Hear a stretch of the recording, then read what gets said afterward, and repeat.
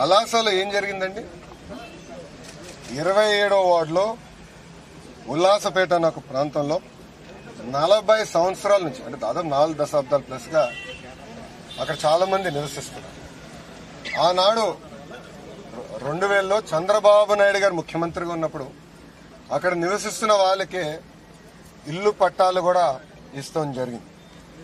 ఆ ఇల్లు పట్టాలు ఇచ్చిన తర్వాత అక్కడున్న పేదవాళ్ళు చెమటోర్చి రూపాయి రూపాయి జమ చేసుకుని కష్టపడి వాళ్ళు అక్కడ ఇల్లు కట్టడం జరిగింది. కానీ ఇప్పుడు ఏం జరిగిందండి అక్కడ? తెలుగుదేశం పార్టీ చేతుల్లో చిత్తు చిత్తుగా అక్కడ వైస్ వైకాపా కౌన్సిలర్ ఓడిపోయాడు. అక్కడ మాకు సత్యనారాయణ భారీ మెజారిటీతో అక్కడ గెలుస్తాం జరిగింది. అది జరిగిన తర్వాత అతను అక్కడున్న మంత్రివర్యులు పశువుల శాఖ మంత్రి గారు అప్పలనాయుడు గారు అప్పలరాజు గారిని సూటిగా ప్రశ్నిస్తాం జరిగింది ఇక్కడ ఎక్కడా మీరు తప్పు చేస్తున్నారు? ఫలాంది కూడా ఇబ్బంది పెడుతున్నారు. ఇది కరెక్ట్ కాదు. ఇది కరెక్ట్ కాదు. మీరు ప్రెస్ మీట్ కూడా మీరు మీరు చేసుకోండి. ప్రెస్ మీట్ కూడా పెట్టకూడదు సార్. చెప్పండి వన్ ఫిఫ్టీ ఉన్నారని ఎక్స్పెక్ట్ చేస్తాం మీకు. ఇంతవరకు ఒక్క నిమిషం సార్. ఏంటి సార్ ప్రెస్ మీట్ కూడా పెట్టకూడదు.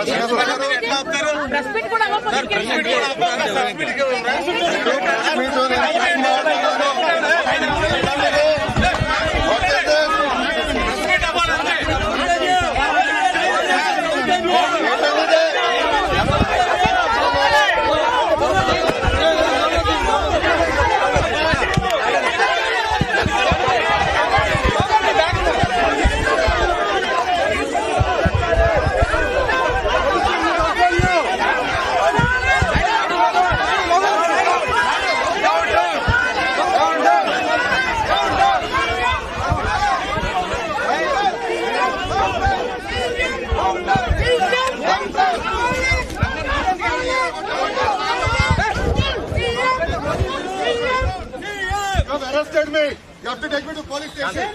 How can you take me to airport? Who are you to take me to airport? What is this rubbish? What is this rubbish? Game chalukunaru. Okay.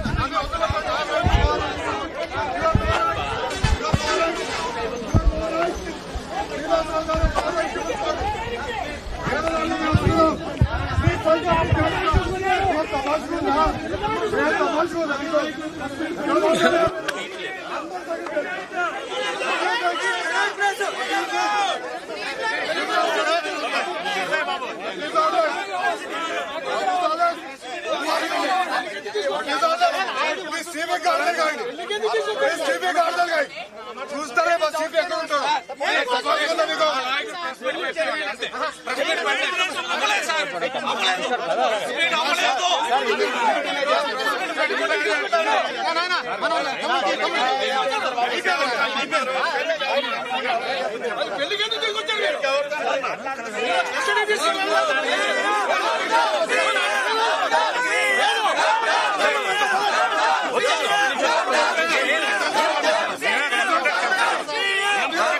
నిలబడ్డా?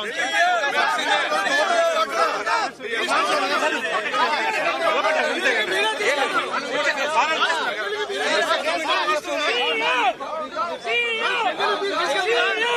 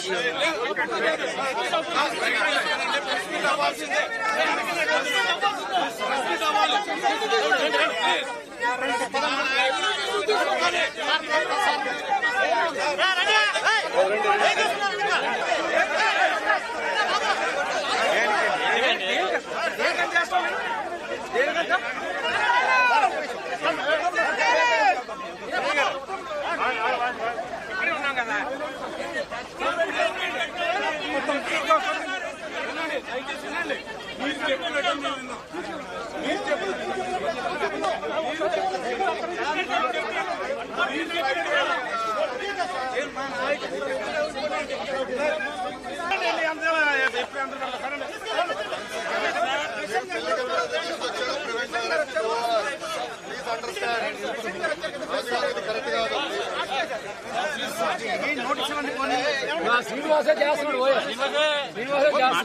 శ్రీనివాస శ్రీనివాస్ గారు నోటీస్ ఇవ్వండి sir ముందు.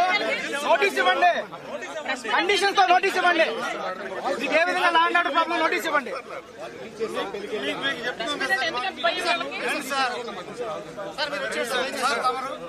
వాళ్ళకి గారు ఒక్క నిమిషం give it me writing I can't hold a press meet ఏమని ఉంటాడండి? శ్రీనివాస్ గారు మీరే వదిలేయండి సార్. మీరే స్పీడ్ కూడా మీరు వదలరా? ఎందుకు నోటీస్ ఇవ్వండి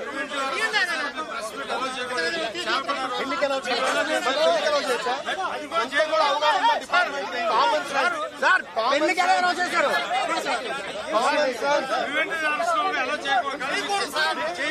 మరి పెళ్ళికి ఎందుకు తీసుకెళ్ళారు సార్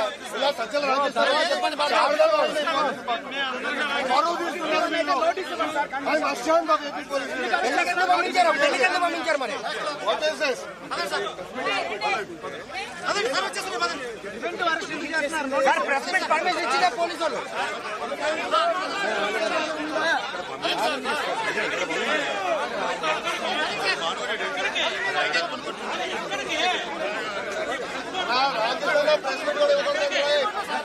రాజారెడ్డి రాజ్యాంగం ఉంది రాజారెడ్డి రాజ్యాంగం ఇది.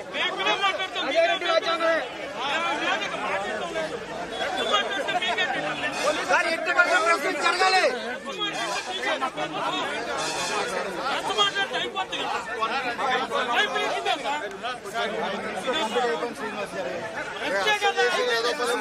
ఏంటండి రెండు నిమిషాలు దానికే ఉంది ఏమే కదా ఇప్పటివరకు ఇంకా టూ మినిట్స్ అయిపోతాయి మరో సాక్షి సుమన్ టీవీ మరో సాక్షి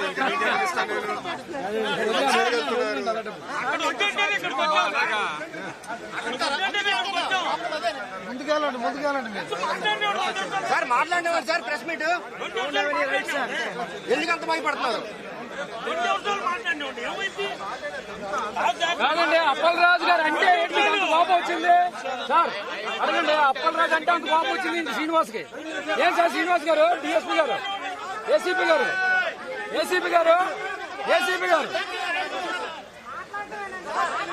ఏమండి ఏసీపీ గారు? శ్రీనివాస్ అంటే శ్రీనివాస్ గారు. ప్రెస్ మీట్ కే భయపడుతున్నారా